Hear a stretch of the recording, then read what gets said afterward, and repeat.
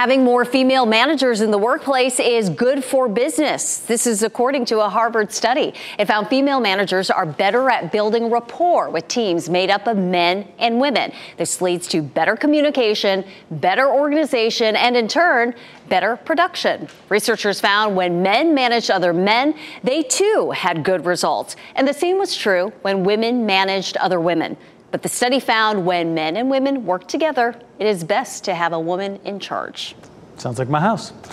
Tomorrow is the deadline to submit a claim in a class action settlement for iPhone 7s. The $35 million settlement stems from a lawsuit concerning an audio defect with the 7 and the iPhone 7 Plus.